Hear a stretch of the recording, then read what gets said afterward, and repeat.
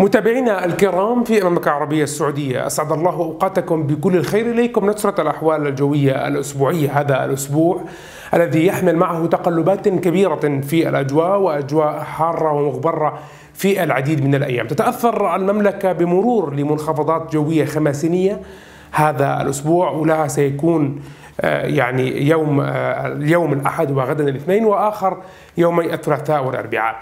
نبدأ هذه التوقعات الجوية بنهار اليوم الأحد. المتوقع أن تسود به أجواء مستقرة في كافة المناطق مع احتمال ضعيف لأن تهطل زخات محلية محدودة من الأمطار فوق المرتفعات الجبلية الجنوبية الغربية. تكون درجات الحرارة أعلى من المعدلات المعتادة لمثل هذا الوقت. العام بقليل وتسجل درجة الحرارة مثلا في العاصمة الرياض 32 درجة مئوية 29 درجة مئوية في الدمام 25 درجة مئوية في جبال جنوب غرب المملكة 30 درجة مئوية في جدة 34 درجة مئوية في المنطقة الشمالية 32 درجة مئوية عفوا 34 درجة مئوية في تبوك و32 درجة مئوية في المنطقة الشمالية. مع ساعات العصر والمساء تنشط الرياح الغربية المثيرة للغبار في المنطقة الحدود الشمالية. تشمل بذلك الجوف وأيضا أجزاء من آه، عرعر وأيضا ربما تصل إلى رفحاء والأجواء تكون في تلك المناطق مغبرة بشكل عام. يوم الاثنين غدا يتوقع أن يطرأ ارتفاع على درجات الحرارة يبقى الطقس مغبرا في المنطقة الشمالية لكن تسجل درجة الحرارة في العاصمة رياض 35 درجة مئوية مع أجواء حارة.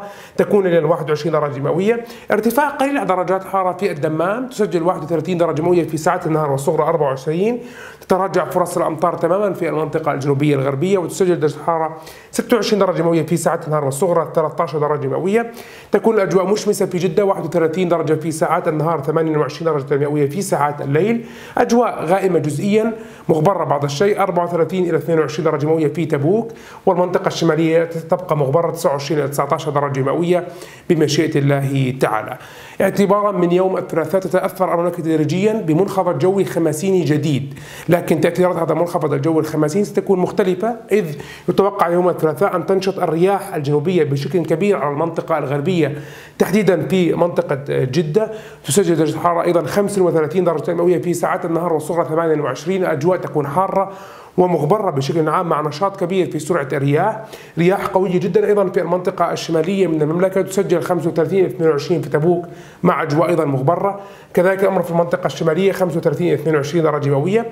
تبقى درجات الحرارة في العاصمة على ما هي عليه يوم الاثنين بحيث تسجل يوم الثلاثاء 35 في ساعة النهار والصورة 24 32 إلى 25 في المنطقة الشرقية 26 12 في المنطقة الجنوبية الغربية. يتعمق تأثير هذا المنخفض الجوي الخماسيني يوم الأربعاء.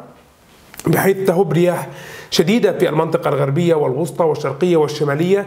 كما نلاحظ معظم هذه المناطق تصبح مغبرة. آه، منطقة جدة يتوقع أن تكون الرياح عليها قوية للغاية مثيرة بشكل كبير للعواصف الترابية تدني لمدى الرؤية الأفقية وارتفاع في درجات الحرارة تسجل 36 درجة مئوية في ساعات النهار والصغرى 26 30 إلى 9 درجات مئوية في تبوك الأجواء مغبرة 29 12 أيضا في المنطقة الشمالية 38 درجة مئوية في العاصمة الرياض وهي قيم صيفية متوقعة في العاصمة الرياض والصغرى 26 مع أجواء أيضا مغبرة 35 إلى 25 في المنطقة الشرقية 26 13 في في جبال جنوب غرب المملكة مع أجواء هناك تكون مشمسة ومغايرة عما عليه الحال في باقي المناطق.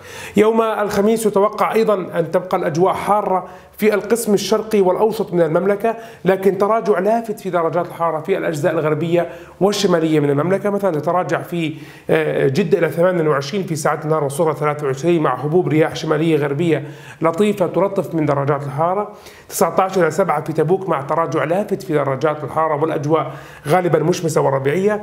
21 إلى 9 درجات مئوية في المنطقة الشمالية مع استمرار نشاط الرياح المثيرة للغبار 26 إلى 13 في المنطقة الجنوبية الغربية 37 إلى 25 في الرياض والأجواء حارة من عمق الصيف ما زالت هناك و37 إلى 25 في المنطقة الشرقية والدمام والأجواء أيضا تكون حارة.